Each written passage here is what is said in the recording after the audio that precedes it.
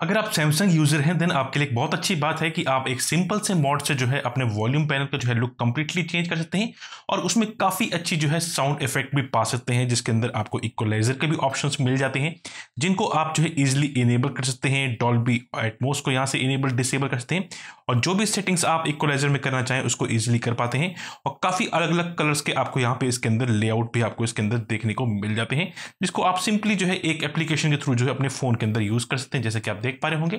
कुछ इस तरीके का आपको जो है, अब वॉल्यूम पैनल जो है, यहाँ पे देखने को मिलता है। तो इस ऑप्शन को इनेबल करने के लिए सिर्फ़ आपको जो है गुड लॉक एप्लीकेशन को डाउनलोड करना है। उसकी फैमिली ऑप्शन में जाएँगे। वहाँ आपको एक ऑप्शन देखने को मिलता है साउंड असिस्टेंट आप उसको डाउनलोड करके अपने फ़ोन के अंदर जो है गुड लॉक एप्लीकेशन में इंस्टॉल कर लीजिए। एंड जैसे आप ओपन करेंगे, आपको इसको जो फ़र्स्ट ऑप्शन है वॉल्यूम पैनल थीम इसको इनेबल कर दीजिए।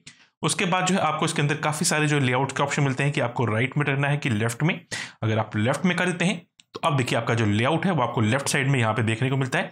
आप इसके कलर्स को चेंज कर सकते हैं। कौन सा कलर आपको चाहिए, आप उसको सेटअप कर लीजिए। सपोज़ आपको येलो चाहिए तो येलो थीम में आपको देखने को मिल जाएगा। तो ये सब नए फीचर्स जो है आपको इसके थ्रू यहाँ से देखने को मिलते हैं। उसके बाद कुछ और चीज़ें मिल जाती हैं, जैसे कंट्रोल मीडिया वॉल्यूम को आपको ऑप्शन मिल जाता है इसके अंदर, जिसको आप इनेबल कर सकते हैं। इंडिविजुअल ऐप वॉल्यूम्स मिल जाती है। हर एप्लीकेशन जो वॉल्यूम होते हैं, उसके आप इंडिविजुअल उसकी सेटिंग्स कर सकते हैं।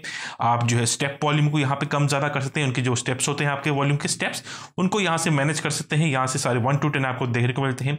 आप वाइब्रेशंस को यहाँ पे कस्टमाइज कर सकते हैं क्रिएट पैटर्न एडिट पैटर्न से नया पैटर्न्स को आप यहाँ पे काफ़ी सारे जो वाइब्रेशन के पैटर्न्स हैं, उनको यहाँ पे इनेबल डिसेबल कर लीजिए। मल्टी साउंड मोड आपको मिलता है सेपरेट ऐप साउंड मिलता है ब्लूटूथ मेट्रो मिलता है। और एडवांस सेटिंग्स में जाए तो आपको और भी काफ़ी सारी चीज़ें मिलती हैं कि साउंड बैलेंस आपने कैसे रखना है स्पीकर्स का। लेफ़्ट एंड राइट रख लीजिए इसको। आपको रिवर्स स्टोरियो का ऑप्शन मिलता है। अगर आप मोनो ऑडियो चाहते हैं तो आपको मोनो ऑडियो का भी ऑप्शन इसके अंदर मिल जाता है। इवन अगर आप इसकी साउंड क्वालिटी एंड इफेक्ट्स में जाएँ तो आप इक्वलाइजर्स को यहाँ से भी मैनेज करते हैं। डॉल्बी एटमोस को इनेबल या डिसेबल आप कर सकते हैं। उसके बाद जो है वॉल्यूम पैनल जो है आपको कुछ इस तरह का यहाँ पे देखने को मिलेगा। इस पर टैप कीजिए, यहाँ से आप इसके इक्वलाइजर्स में जा सकते हैं और इसको सारी चीज़ों को यहाँ पे मैनेज कर सकते हैं कि आपको किस तरह का चाहिए बेस इफ़ेक्ट चाहिए ट्रेबल चाहिए।